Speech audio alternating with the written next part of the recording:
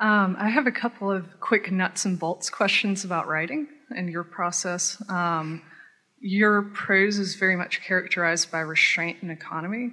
And I'm curious what kind of writer you are. Are you a linear writer who gets it, you know, each sentence right before you move on to the next, or are you do you overwrite and cut back mercilessly? Um, and my other question is you write often of nostalgia and longing, and I'm curious how you avoid sentimentality. Um, well, that's nice to hear.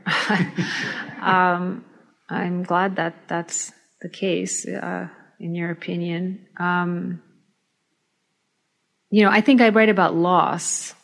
Um, I write less about nostalgia. I think. Uh, I mean, it's connected, of course, um, but uh, but it, that's really what the writing.